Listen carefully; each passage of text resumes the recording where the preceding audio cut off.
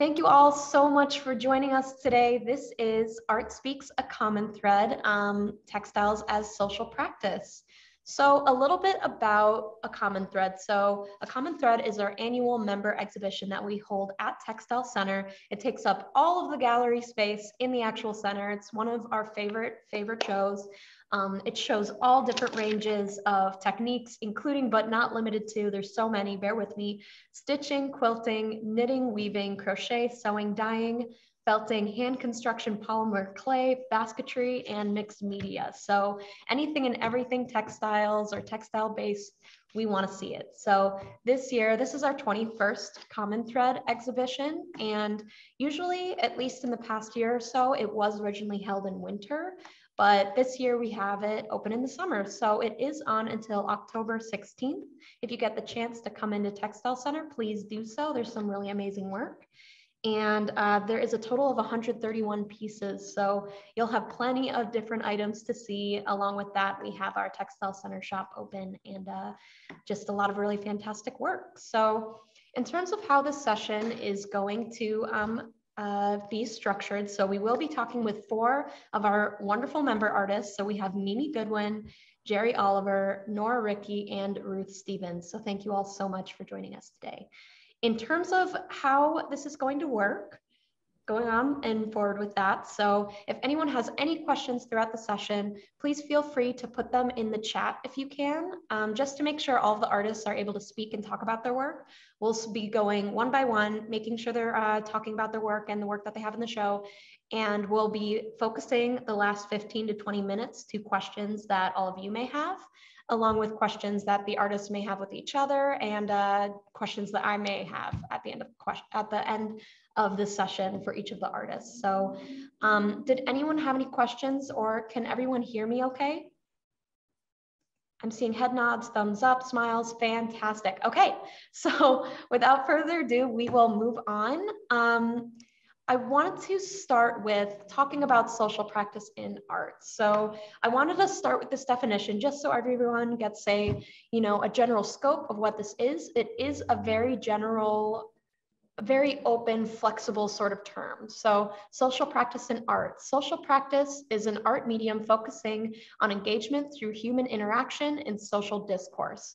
Social practice goes by many names, including relational aesthetics, new genre public art, socially engaged art, dialogical art, and participatory art. So a lot of it has to do with how it interacts with other people, how your work may interact with other people in response to other people, so on and so forth, right? So I'll be asking each one of these artists how their work relates to this, along with their general arts practice, specifically their work in the show. Um, and in terms of focusing it around uh, textiles as well, since we are the textile center. So we will start with Mimi Goodwin. So Mimi, if you could talk a bit about yourself, your work in the show, and uh, how your work relates to uh, social practice. Thank you, and thank you to the Textile for create Textile Center for creating this time of conversation. My name is Mimi Goodwin, and I am a textile artist and activist for justice and a theologian. Um, this particular piece, River of Tears, a COVID requiem, comes from part of what has been so disrupted and impacted during COVID is how it is that we honor our loved ones. And this piece began specifically to honor loved ones who had passed from COVID. And then as I was creating this piece, several friends died from other, other causes. And I deeply realized how COVID has impacted so much of our lives. So it isn't just grieving for our loved ones, it's grieving for those little day-to-day losses too, from how we welcome little children into the world throughout our, our whole life. And part of what is missing is how it is that we gather in community during these times. So in terms of social practice, and I think text textiles are particularly wonderful because of the layering and the and the textures and so many ways that textiles can create images.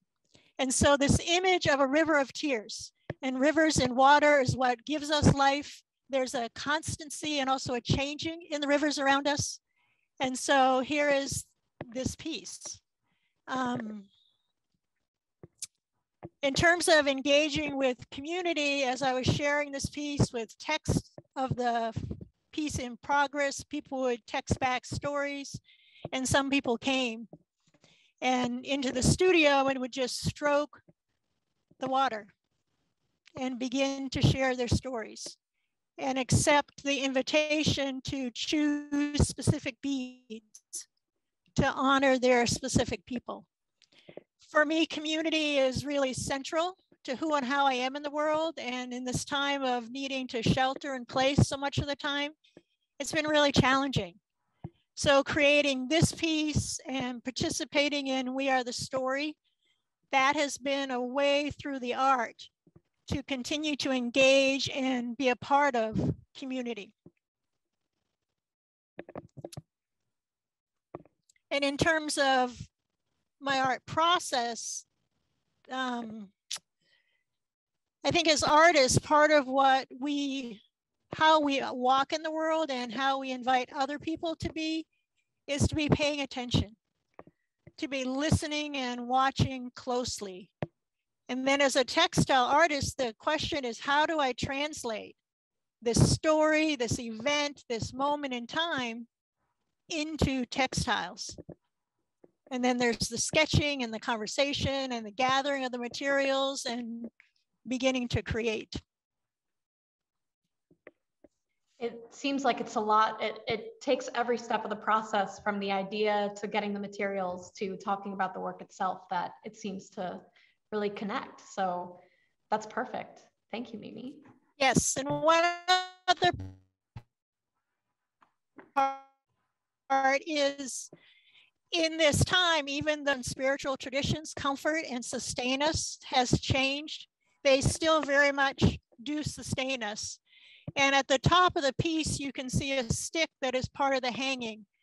And that wood comes from Southeast Alaska and it's a piece of Sakt, which is one of the healing medicines there. Wow, that's amazing. Thank you so much, Mimi. Appreciate it. Okay, we will move on to Jeri Oliver.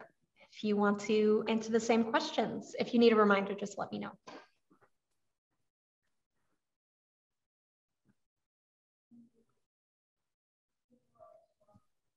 Thank you for the opportunity to be here and share this.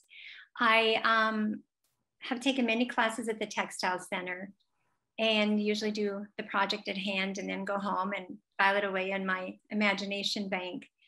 And um, COVID kind of changed that. Well, actually, it changed it in a really big way because I haven't exhibited anything or shown anything that I do. I usually am shy and private about it. But because of the events of COVID and what happened with George Floyd and other incidents during COVID, I really felt as though I had to speak and not so much for my on my own behalf, but for the on the behalf of my grandson Gabriel, who's the one that's pictured at the center of, of the image.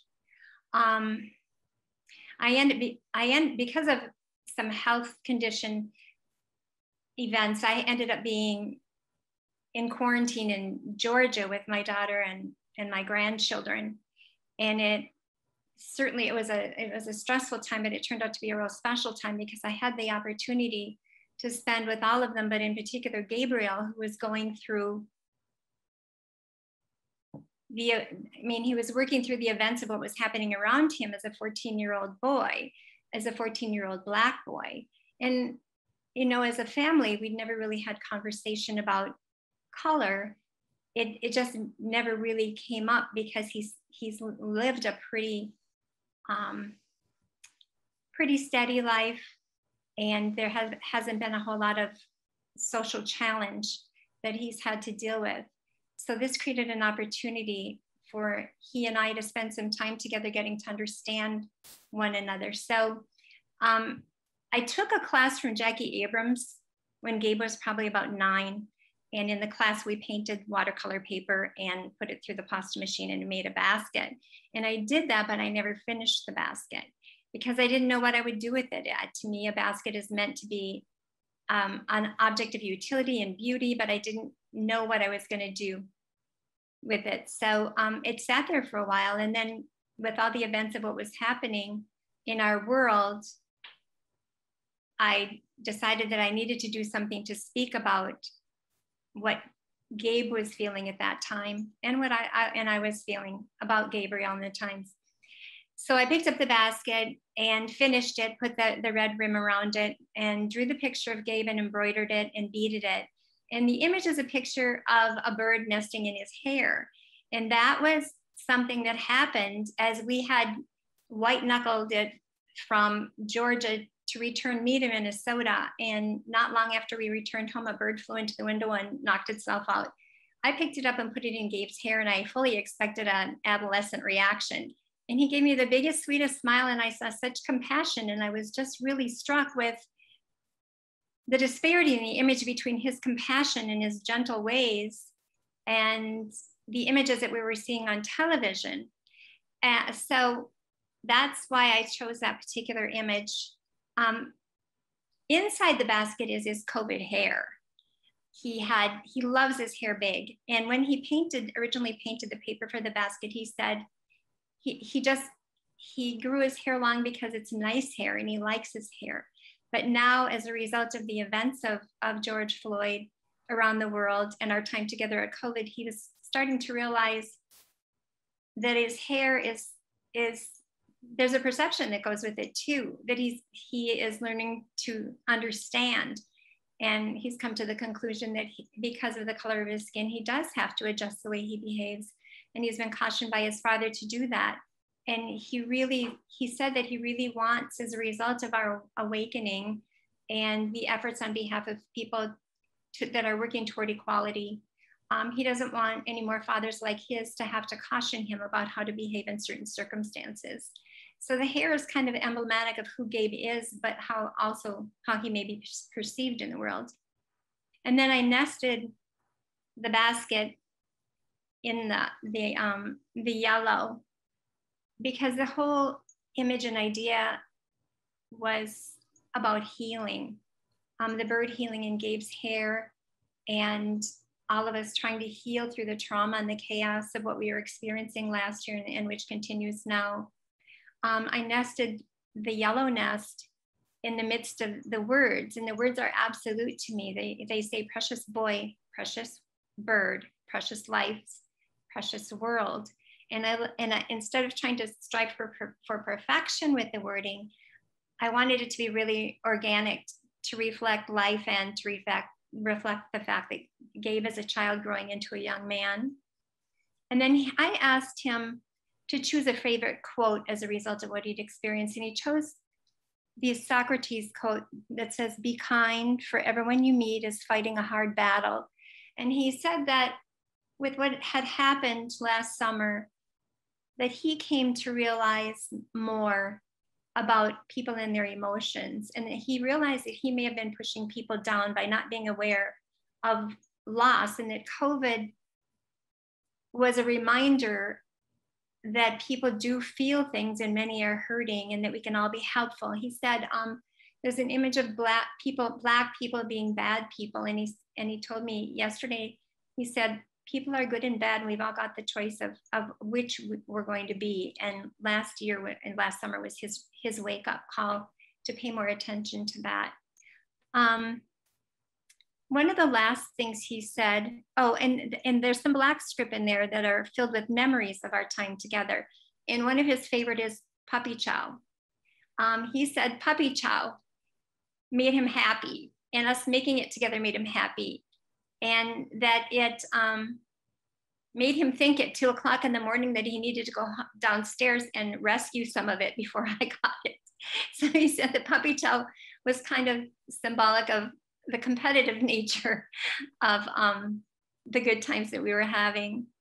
And, and then uh, last, I think he said um, that you really, out of COVID and George Floyd and Ahmaud Arbery, which happened not far from where he lives, that he just wants all people to be equal and to be recognized as equal. In fact, he said um, it's kind of a conundrum because he said he was he felt as though he didn't speak out enough about his color at school. And he said that when he started to, to advocate for his color and his race because he felt the responsibility to do so as a result of George Floyd, that um, he felt people were treating him as, his, as though he was more white because he was being more academic. And, um, and he's also an athlete, and he says his color has been an advantage with that, or the perception has been an advantage. So he's realizing that he's kind of he's torn in two directions, and um, the catalyst of, of our, our most recent events has put him in the place to be more, feel more, he said he feels more responsible um, for helping to make changes on behalf of everyone to, and towards equality. So that's why I chose to put the different colored rulers around the outside. They're all equidistant and they're the different colors of different faces. So um, it wasn't a piece that I sat down to create. It was a piece that that just kind of began and grew and grew and grew as the summer went on and i just let it sit there for a while and as each thing began to unfold i would somehow try to incorporate it into the final piece. Um, on the back is a photographic image of the original photographic image of Gaben the bird. And um, i'm hoping that it serves as a reliquary of sorts to him of memories of good times during bad times in which he learned so much about himself and, and it was awakened to so many more things in the world. And um, and that it, it serves as a point of reference for him as he progresses through becoming the person that he's he is well he is now obviously but um, uh, who he he intends to be and will be someday. So it's it's visual, it's philosophical, it's um, it's healing, and it's memories. So that's how it came about. Wow, thank you so much. Um, one quick question for you: How old? How old is he? He was 14 at the time. He is going to be 16 next month. Wow, has it already been that long, huh? Yeah. Um, Thank you so much. That's that's excellent. Um, we'll go to Nora, Nora Rickey. Hello. Um, I'm feeling, wow, that was really moving, Jeri, hearing about your piece. Um, so thank you for sharing about that. Um, yeah, so hi, I'm Nora, Nora Rickey. I use she, they pronouns. Um, and this is my piece. This is my underwear. um, this is yeah one one pair of underwear that I've done in a series of embroidered and embellished underwear, um, primarily Hanes underwear. Um, so this piece is called Anatomical, and if you aren't able to visual see it, um, I can describe it. um, it's uh, there's a vulva depicted on the underwear with a very um, colorful pink bush and a gold clitoris. Um, if we're being really technical about it, um, I I don't know why it's like a little awkward to talk about this, um, only because I'm still getting comfortable with with what I've depicted myself. Um, this piece was made for my best friend, Zoe. Um, when I started embroidering underwear, all of my underwear have been inspired by a friend or a family member. Um, and they've all, yeah, all these underwears are for someone um, as a gift to them and like an uh, of my love for them. Um, and so I started embroidering underwear and I made my best friend Natalie pair and I made my whole family pair. And then uh, in 2019, Zoe was like, when are you going to make me a pair of underwear? And so I finally got down to making her a pair. And I, I chose this subject at first because Zoe is an incredible painter. And in high school, she made this six foot by four foot painting of an anatomical man, and she showed the layers of bone, blood vessels, and muscle, as well as the outer layer of skin. And I just like that painting was so cool to me that someone I knew my age was making that. And then she continued to make really incredible anatomical pieces throughout college. And she painted one of our friends in a barn um, with the whole anatomical um, like muscle and yeah, yeah, I think it was muscles. Um, and it was incredible. So that's why I chose this um, particular pair of underwear. Um, yeah, so a little more about me as an artist. I am a self taught fiber artist and uh, educator, and I started teaching myself how to embroider in 2016. Before that, I lived in New York City, and then I moved back to Minnesota in 2016. And um, I'd been an actor and I went to, I studied acting in New York City, but when I came back, I wanted to connect more with my mom and with my all the women in my life, all of my like ancestors. Um, my mom passed away when I was in college when I was 19, and she was a fiber artist and costume designer and painter, and she was incredible. Um, and I yeah just needed some way to connect to her and to her practice, and I was just missing her so much and so I started embroidering and it just took off from there. I like just became obsessed with it. And um, I think embroidering on underwear became like a vehicle for that because I started thinking about, um, first I was thinking about like, oh, what are the, I was thinking about underwear because I wanted people to have the underwear and whoever had them would have this beautiful message that they could have wearing that they could wear and that they could either keep close to themselves or choose to display to others. Um, and so the choice was in the wearer if they wanted an audience or not. Um, and that just like took off where I started thinking about, oh, what are all the different messages that can be used, um, that can be spoken on underwear? And I did some very political stuff in, um, yeah, in 2017 in reaction to the the Trump presidency and um, I did, yeah, I create some performance art videos where I was dyeing underwear on on camera and um, and would wear underwear underneath my clothes to protest. Um, and so the underwear, yeah, became a way for me to start getting my voice out there. Um, and it also became a way for me to explore textile and fiber arts and um, yeah, so I taught myself how to embroider, but then it took off from there because I was like, oh, what else can I do to embellish underwear? Can I dye them? Can I felt on underwear?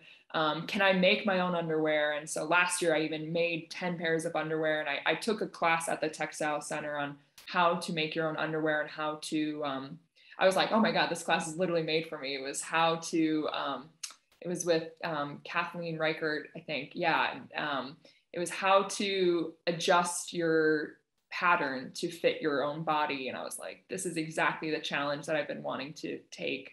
Um, so that's yeah so i started doing that. And and i then would challenge myself to submit to shows. And and the first in my first interaction with the textile center was with the common thread show back in 2019 i had a um, um, a pair of underwear with an heirloom carrot on it and then um, the carrot flower.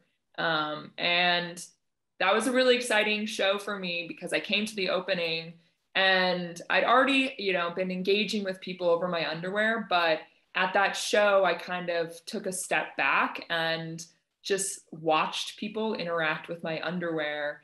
And it was exciting to provoke people, um, whether it was a positive or negative reaction, I didn't really care because I I think the underwear for me was a way, yeah, of a way to provoke someone to have a reaction. Um, and that's that was like the desire in showing them off. Um, and so yeah, people would like get really close to the underwear and almost want to touch it because the the pair was very tactile, had a lot of French knots on it. Um, and so, yeah, just um, I realized coming from a performance art background that my work it, it has to have some sort of performance element to it. Um, in in theater, there it's like you think of it as a triangle. You've got the script, you've got the actor and the stage production, But then there's this third component that's important, which is the audience. And they all work together and they all work to create a dynamic and to change the messaging and to interact with one another. Every component is important. And I still feel that that need for an audience still is ingrained in me, even though I'm working now I've, I've retired from the theater but i still i work as a visual artist and um, i still want that audience interaction and um, definitely yeah underwear definitely gets a certain um, reaction from people um, so yeah so that's a little bit about like my practice as a as an underwear artist um, and textile artist before this piece and um, with this piece, I think working on it, I I came out as queer in 2019 while I was working on this piece. And so this piece continues to be a, a way of me examining my queer identity and examining um, other queer identities and my role in the queer community. Um, and I chose to embroider the clitoris with gold thread because I didn't know what a clitoris was until I was in my mid 20s. I went to Catholic school my entire life until I went to New York City and studied acting. Um, but I still didn't know what my body, what, yeah, I didn't know the makeup of my body. And that continues to be something where I'm just appalled that my education didn't introduce fundamental body um, you know the clitoris is such an incredible organ. And so it's just crazy that i didn't really learn about and i'm still learning. I still am learning about my body's functions. And so um, to this day and i'm 27 and i feel like i'm going to be on this um, map of learning to the rest of my life. But um, yeah so it it, it began and it became like this way of reckoning and and analyzing and and becoming in love with the female well not necessarily female because it's but becoming in love with the vagina and and breasts and being comfortable with that love and that adoration instead of before where i'd be questioning now i was knowing and i was comfortable in that knowing or becoming comfortable in that knowing of um, of yeah of adoration of desire. Um, and so yeah when i think about it yeah this piece is like kind of in a way like i still am processing it. It's it feels like it's it was a big moment for me as an artist but as a human as well um, as a person. And um, yeah after that I, I created a pair of i crocheted i designed my own crochet pattern of a huge pair of breasts that people could wear and put on. And it was like a way of putting on femininity um, but this this is like me just trying to get the anatomical figure of the vagina out there and all the different elements of it. Um, so yeah that's that's that. I think this is like my last i yeah i'm taking a break from doing underwear. So this kind of felt like a good last piece to finish. Um, i'm going to continue sewing my own underwear. I I'm now feel comfortable working with elastic and i want to challenge myself to not purchase new underwear. So i will continue that and probably embellishing more underwear. But as a series i think this is this is a great way to conclude working on embellishing underwear in such a like yeah loud and wearable art way. Um yeah so that's that's oh one more thing. So um also while i was thinking while i was doing this piece i was you know reflecting on the Guerrilla Girls who are an incredible group um who challenged museums to include more women. And um, i think now they are working in in 2021 to include more people of color and more queer artists in in the metropolitan museum and the modern the moma and other museums across the world. And one of the statistics i think was back in the 80s when they were first starting out was that in the museum they only have in the metropolitan museum of art they only have 5% of the artists are women female artists whereas 85% of the images depicted are of female nudes. And so they were saying that, oh, if, you know, the only way to get into the Metropolitan Museum is if you're naked as a woman. And so this was me like also kind of analyzing that history of um, our art history and um, even though I grew up going to museums, I still didn't know what my body, what all my body was made of and like all the different parts of it. So um yeah, I think I think that's those are my thoughts on on this piece. So thank you Textile Center for um, allowing this opportunity. That's fantastic. Um, it's very interesting, you know, thinking about you know even even hearing you talk about it starting from a place where you you didn't know much about the you know about this anatomy and then going into you know public practice and you know wearing underwear at protests. It's like a really bold and exciting jump. And that's a really cool progression that that i see with your work. So that's awesome to hear. Thank you so much um, so from here we'll go to the last artist um, for this session so ruth stevens Ruth, I'll let you take it away. Let me say thank you very much to the Textile Center for both this program and for Common Threads. Common Threads has always been a, a, joy to visit because I don't look at myself as an artist, but rather as a technician. I was trained as a, back when it was called home economics, I was trained as a home economics teacher and went through my career as a designer and as a, an educator. I never looked at myself, and I still don't, as a practicing artist.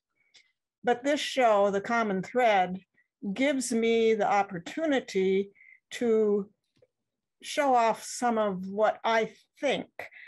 And this piece was definitely uh, conceived because of the things that were going on around us at the time. I started it in January of this year, shortly after January 6th and um, had been thinking for a long time about Dr. Maslumi's uh, work that she had um, done after the George Floyd murder. Obviously, the name reflects both the social aspect of um, living in the United States, but also I'll call it the moral compass of the United States. We have people who are sure that their um, political um, ideas are the only correct ideas. We have people who are absolutely positive that there is no good um, person who uh, has skin that's other than white. And this work depicts both of those the fiery aspect of uh, our social climate right now, the inability to accept um, the, the, um, the election outcomes, and the absolutely horrible aspect of being a Black man who needs to tell his son how to survive in the world if he's ever stopped by police.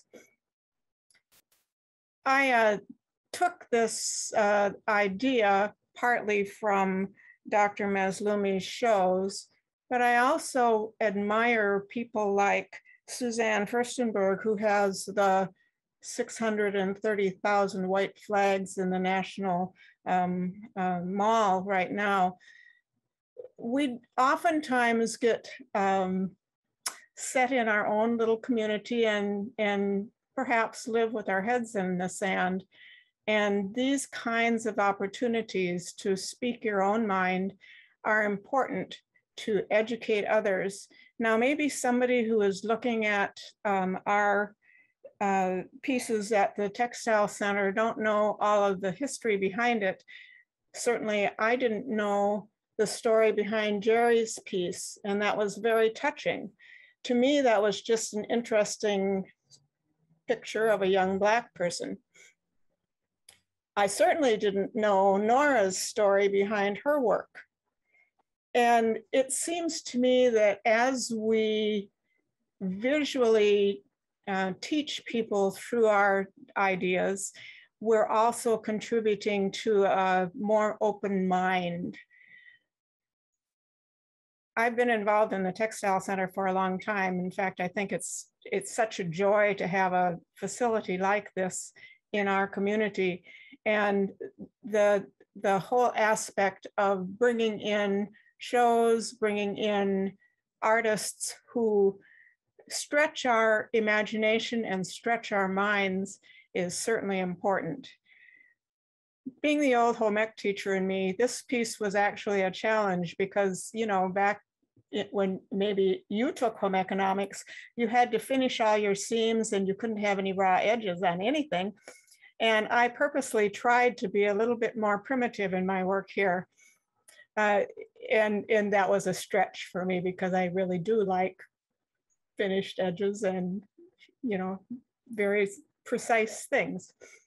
A lot of the pieces of fabric were done in various classes at the Textile Center.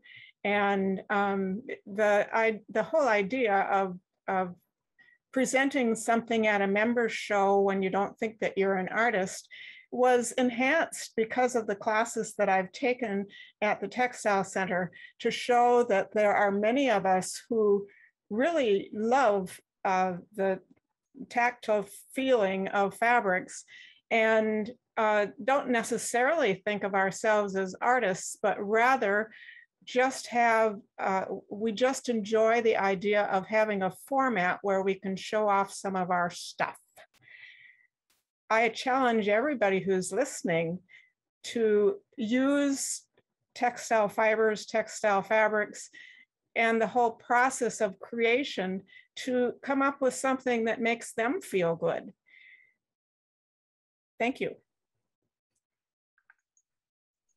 That's wonderful. Thank you so much. Yes, absolutely.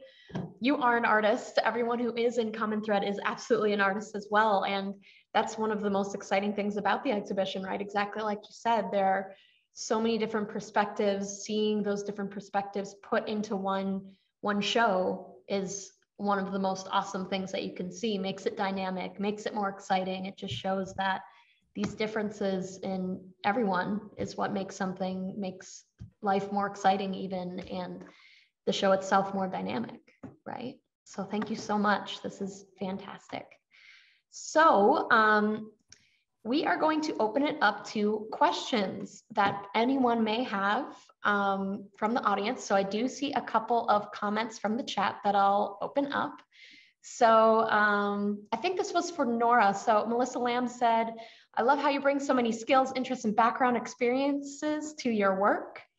Um, Alice Foster said, great show. Um, Nina Robinson said, Nora's piece was one of my favorites. I took several pictures and I've been really pondering my next steps in my own practice. Um, and going on with that, so Ruth, I completely understand what you are saying about finished edges. I struggle with being what I call scrappy. Um, so Cindy Bach also said, thank you, Ruth, very well articulated. And um, let me see.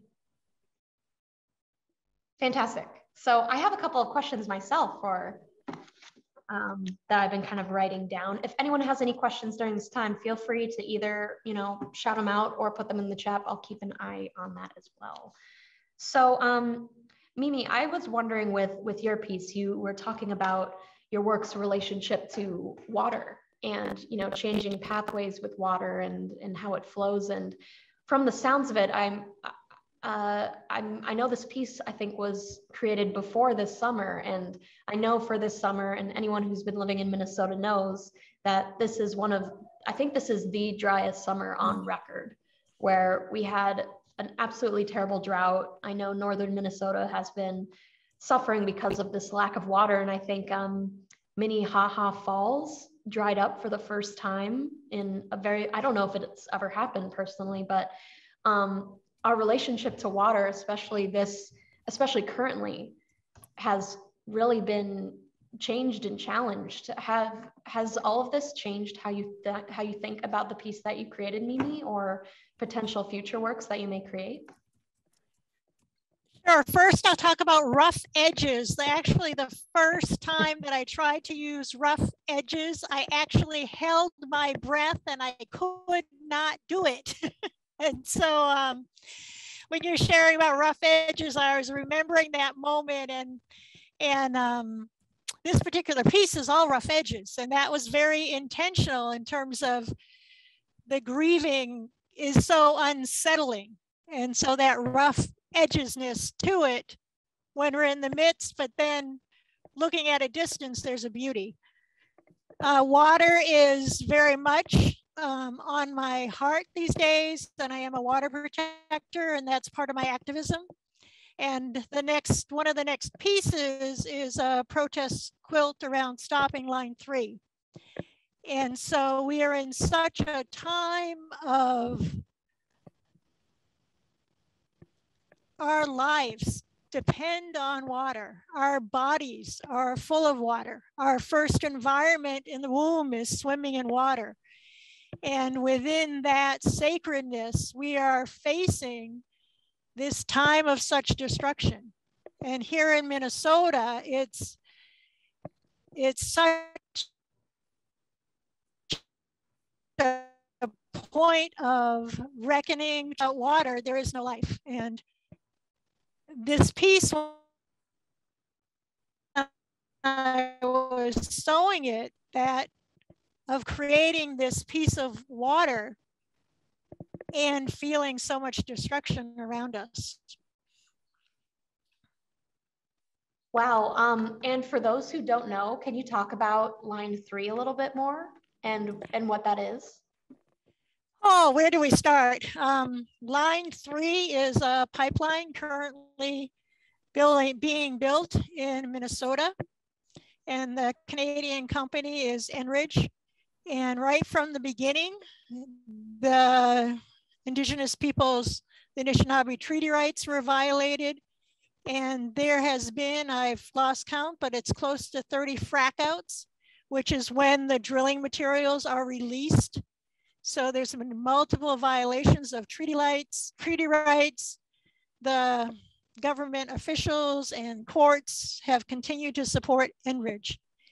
And uh, it's so shocking that there's even a name and it's called dewatering. And Enbridge was granted a permit to dewater. And they need the water to force the drills under the over 20 rivers, times that they cross the rivers in Minnesota. So our water is at risk in Minnesota in a very big way.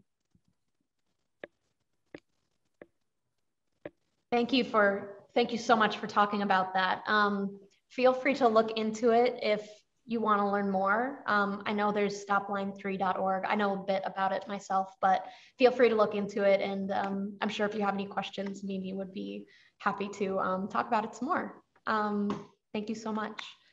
Um, so let me see a couple. Let me see if there's any questions in the chat. Um, okay, so here's one from Heather Giffen. Um, Mimi has talked about her activism and how it is a part of her art making.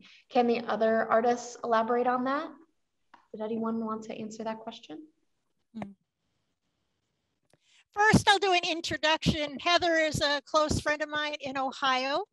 And actually, she and her mom just went to Cincinnati with the American Freedom Museum and an underground Railroad Museum to see We Are the Story.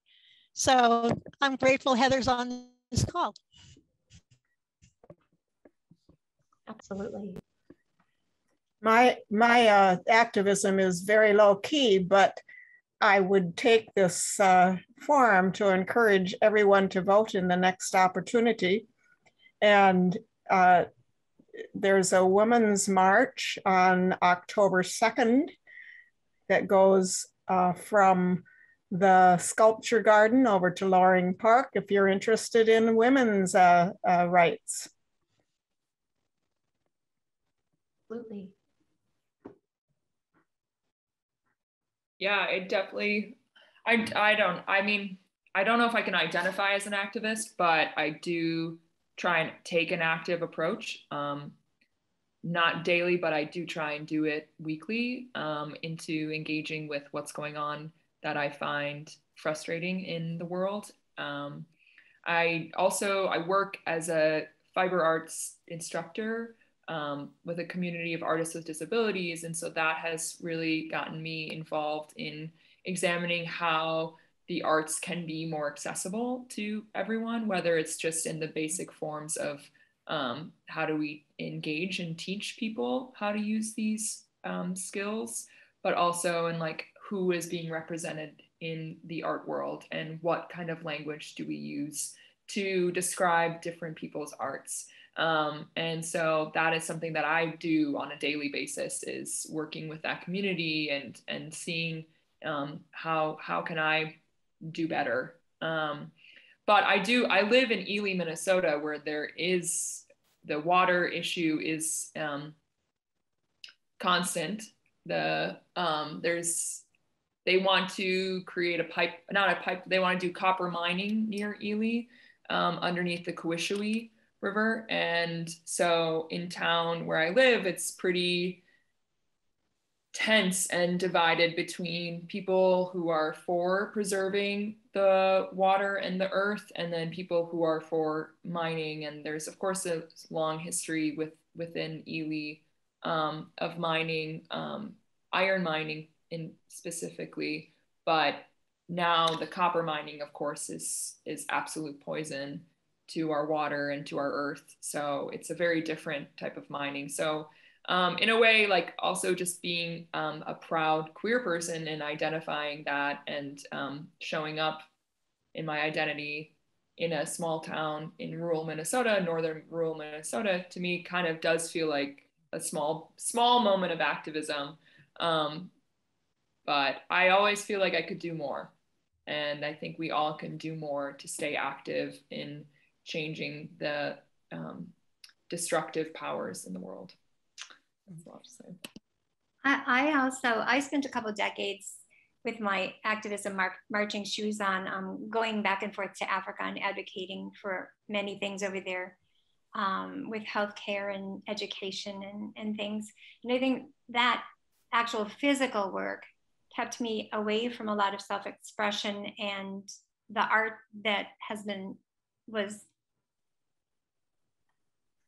I guess I've always felt as though it would be an affront to my God if I left this world without expressing myself artistically. But I just didn't create the place or the space for it. And I feel now, like I said, I felt really compelled to do this on behalf of Gabriel, especially. But I also see what a catalyst it is for um, conversation and motivation to change. That I think that's that's what Gabe and I together got the most out of this and um, I feel like a grandma Moses of, of sorts because I have done some art pieces in the past and they've been full of anger and rage and nightmares and, and confusion, but I hadn't done much. Um, I've been storing it away in the reliquary in my, my artistic reliquary. And um, I feel now as though in, at this time of my life, being retired, that I now have the opportunity to just spew, to just just let it flow and, and I've gathered the materials and, and, and have started to create the space. And I expect that this is going to be the beginning of a lot of noisy things uh, that express about all the stories I've gathered. I mean, even, you know, I've worked with cystic fibrosis in 15 years with HIV and all those trips to Africa. And there's a lot that I have to say and, and parented um, African boys in Minnesota. And now of course have um, mixed race grandchildren. And their father was raised Muslim and is an immigrant. And there's just so much material and so many thoughts that I would like to express visually and noisily.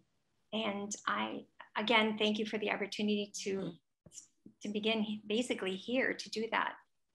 So, um. And I love you said there's so much material because that has definitely two meanings on this Zoom call of the material of the stories. Especially after the, the uh, textile center garage sales. right, especially after that. And then also the material that just pulls at our heartstrings. And, yeah.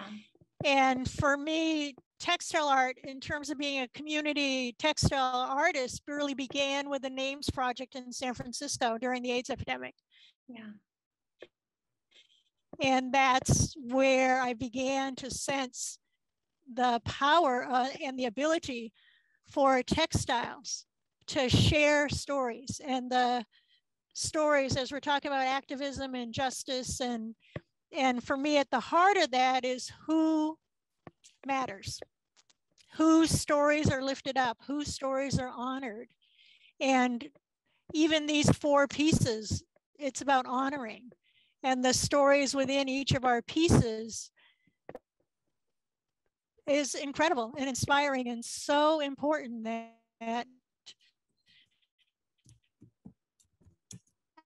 and I think particularly as women and women, including women's work, which includes textiles. So it's a time of, of again, being truth tellers. Mhm.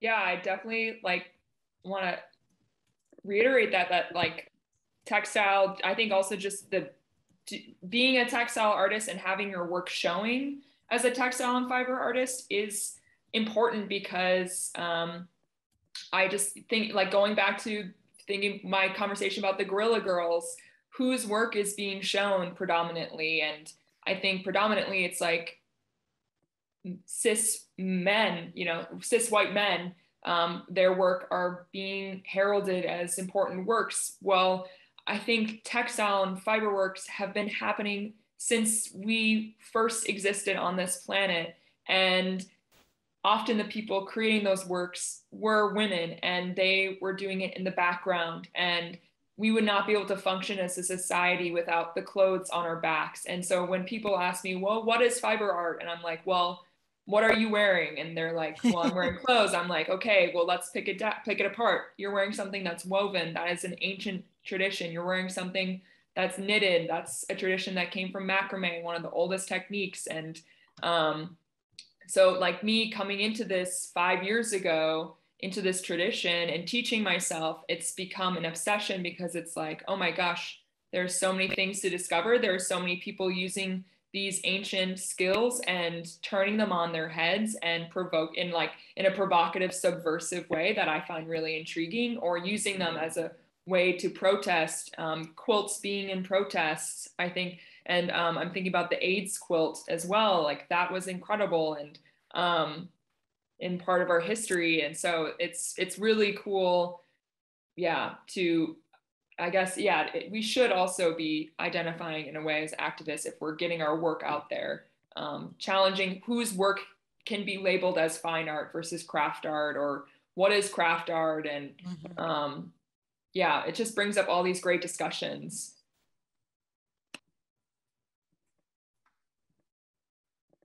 Absolutely. Uh, thank you all so much. Um, so Melissa, um, Melissa Lamb came back to uh, say, I think activism can absolutely include teaching, making art like you all have, and living your truth of who you are. It's not just marching. Marching is good too, but you are all activist role models, in my opinion. So, in terms of how I think, you know, I think, you know, activism is it's pretty much living even like living your truth being being present in your own body and like in these spaces like that's activism like living living a life that um uh that you can have these dialogues that you can talk to people talk to people you care about.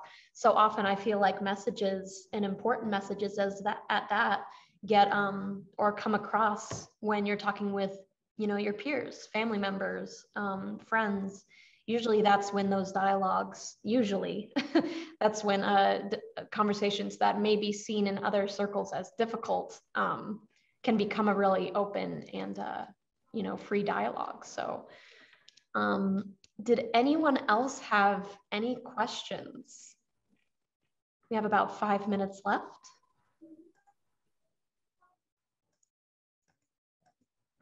I have actually a question for the other artists. I'm always intrigued with the process of coming up with an idea. And I'd like to know what you use. Obviously, my idea came from uh, news. And what were your, I, what were the, reasons why you came up with the specific art piece that you came up with. When I'm asked this question, I remember Malvina Reynolds talking about being asked where she found her inspiration. And she said, if I knew that, I'd go there every day. so for me, it's about showing up and paying attention and keeping a sketchbook that oftentimes is uh, the news that just is me or it may be a conversation and in in the people in my community as different people were dying both from covid and other other causes. How do we hold that grief when we can't gather in person the way that we're used to? And that sense of those tears oftentimes being cried out, not within community, not within the traditions in person we're used to holding us, but oftentimes more so in private. And grieving is both within community and private.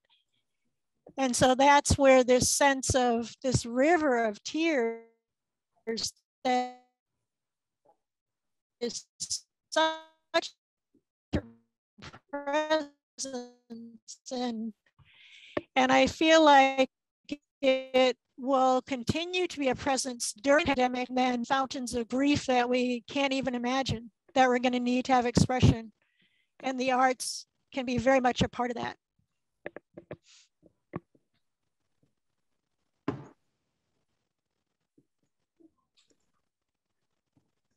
Yeah, I guess for me it was like this my piece was like, oh, who is my best friend Zoe? I'm making this pair of uh-huh. underwear for her okay, what has she done in her past that like can inspire me? And she's, a, you know, inspiring just at, through her existence because I love her so much. Um, and then it was like, oh, okay, she's done a lot of paintings anatomically. Ooh, what should I do on a pair of underwear? Should I? I was, you know, either thinking about doing just the uterus or just the vagina, and then it was like maybe both, and then it's just like I think I think what I have is enough. Um, and then I wanted to add a playful element that maybe could like the I think the bush is very playful and could be a way of either adding like a curtain to the um, piece or you can kind of muss it up or mess it up so that you can see the rest of the underwear. Um, so yeah, that's that's that's how my pieces go. Usually, I think people in my life inspire me, and I'm working on some a new series, and it's and and I'm reflecting on all my grandparents died when I was, by the time I was uh, 12 or younger. And so I'm thinking about ways of connecting to the different women that came before me through textile work. So um, they are always, they're always inspire, inspiring. I think um, people don't write letters the way they used to. And um, if we want to leave some lingering legacy, which is what I usually, that's kind of what I imagine, my imaginatively refer to my efforts as is my lingering legacy. The things that I'd like to carry on. I mean, we inherit all kinds of things from our ancestors. Oftentimes it's material, but there's also a reality that that is passed forward. And working with Gabe on this, hearing what he has to say and him hearing what I had to say is my way of um, passing on a reality that he can choose parts of to keep and other parts to reject. And in the meantime, I'm getting to know him much more. And obviously, I love him very much. So that's something that I really want to do. So I think the inspiration for me at this time in my life, as I am becoming Grandma Moses, is that I'd like to leave something behind and I'd like to be sure that it's something that's valuable. Like, as the quote I just read about leaving the wood pile higher than you found it um, I'm inspired to dig deep and choose the things that are important to me and try to find a way to make some noise about it that will be productive to my grandchildren as they're trying to traverse this crazy chaotic world and in concentrated form. Um, we, we had it piecemeal. I remember when i was young and i had i had a new auntie in my family And we sat down for a meal and I put ketchup on my eggs and she put sugar on her cottage cheese. And we both looked at each other and didn't understand. And it was that at that time, at that young age, that I realized that people just do different things differently because of what they learned from their families. And what I saw happen around, you know, around us and around the world last year was so much more than eggs and ketchup and cottage cheese and sugar. And these kids have to mm. figure this out. This piece gave me the opportunity to learn so much more about a beautiful person that oftentimes isn't being regarded as the person that he is. Um, so yes, this this is an opportunity for us to have lingering legacies uh, of, of, in a positive way that will leave the woodpile higher. Um, one other thing that I remember too, when I start doing something, I don't start with a clear objective or idea. Oftentimes, this one I did, but but the process wasn't clear to me. And one of my favorite artists is Keith Lo Bue. I don't know if you know him. He's out of Australia. He calls himself a stuff smith. And he starts a piece and does all this wonderful work. And then he digs into a shoebox of little clippings from books of um, phrases that he really appreciates. And he'll dig through that until he finds something, if I've got this correct, I hope, Keith, I'm doing you justice. Um, he'll find a little snippet of something that is more or less a description or an intention of what he's working on. And it helps to kind of provide clarity for the process going forward because then it has a name. So you can start with an idea or you can create an idea midway through. But for me personally, I, would like it to be a reflection of what, what's going on inside. Thank you. Wow, fantastic. I, I can't believe I'm saying it, but it's already about that time. We're a little after 1 p.m. Um, and thank you all so much for joining us for this session today. I think it was fantastic. Um, we'll be sure to have this recording up on our site um, for you to view at any time that you may like. And as um, Mia, our communications associate, listed in the chat, you can view this exhibition online. So you can view that anytime. And if you do want to see this show in person, please feel free to do so um, until October 16th. So um, thank you, artists, so much for talking about your work. I really appreciate you taking the time. And thank you, uh, thank you to the viewers for coming and uh, joining us for this great discussion.